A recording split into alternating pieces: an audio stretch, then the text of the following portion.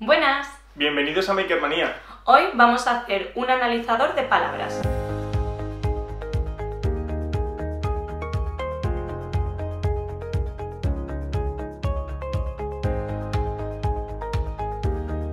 Recordad que tiene que estar enganchado por delante y por detrás, ya que tiene que hacer contacto con el papel de aluminio. Ahora vamos a comprobar qué tipo de palabra es mucho.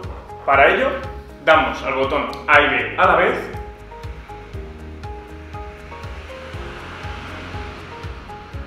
Esperamos que os haya gustado mucho este proyecto y aprovechéis las estructuras que hemos hecho para las tarjetas para poder jugar con muchas ideas nuevas. ¡Adiós! Nos vemos en el siguiente proyecto de Makermanía.